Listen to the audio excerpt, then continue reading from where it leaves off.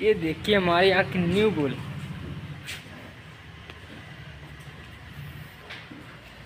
best company के and best bull